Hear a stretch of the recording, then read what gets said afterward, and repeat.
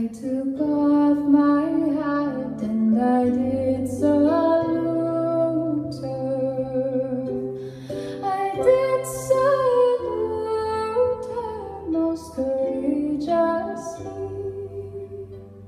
When she turned around while the tears fell from her,